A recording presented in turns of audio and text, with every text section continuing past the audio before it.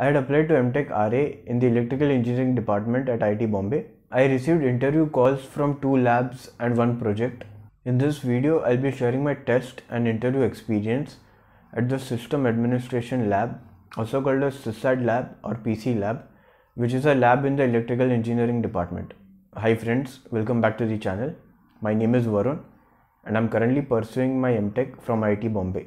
Uh, at IIT Bombay, there are two types of RA positions, the project RA and the institute RA. RA at SysAd Lab comes under the institute RA category. Let me give you a short introduction on SysAd Lab and the type of work they do. SysAd Lab has the responsibility of maintaining the mailing and computational servers of the electrical engineering department. It also ensures proper functioning of the electrical engineering website and also maintains the network infrastructure of the department. It is a team of RAs that provide tech support to the electrical engineering department.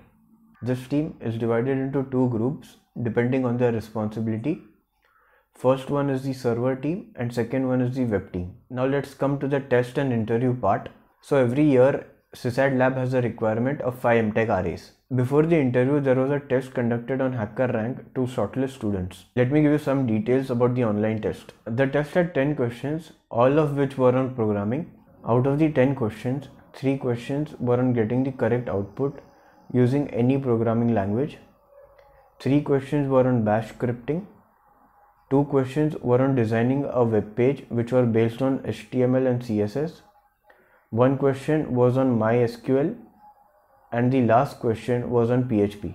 I would say that the test had a mix of moderate to easy questions. We were given around 8 hours to complete the test and we were also allowed to refer any online resources. I was able to solve 5 out of the 10 questions which got me shortlisted for the interview. The interview was taken by senior lab RAs and a professor. They started the interview by asking about my interests they ask questions like do you know what are the responsibilities of the SysAd lab? Which team you would like to join? Web team or server team? Then based on your answers and your interest they ask further questions. I told them that i am interested in server team so they asked me questions on bash scripting and on linux commands. I was not able to answer all the questions but i answered as much as i could. The interview lasted for around 15 to 20 minutes. Uh, in the fifth round of CYB portal i got an admission offer for MTech RA at SysAd Lab, which I accepted. Now let me give you some tips which would help you to clear the test and the interview. In the test, there were around 10 questions, but it was not important to solve all of them.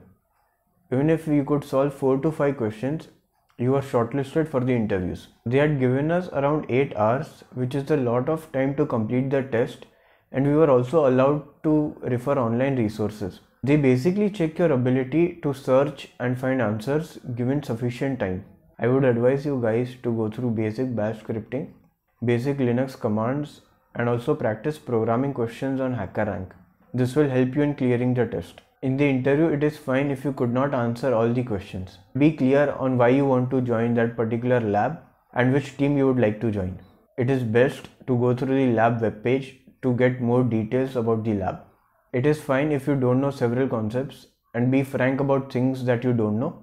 Even I knew very basic bash scripting and very little about Linux. During the interview, they are assessing your ability to pick things up as you go. Uh, they check if you are a responsible individual and you will not back down from your work, then your chances of getting selected are much higher. So that is the end of the video. I hope you got to know more about the interview process for Institute RA. If you have any further questions, then please let me know in the comment section. Thanks for watching and see you in the next video.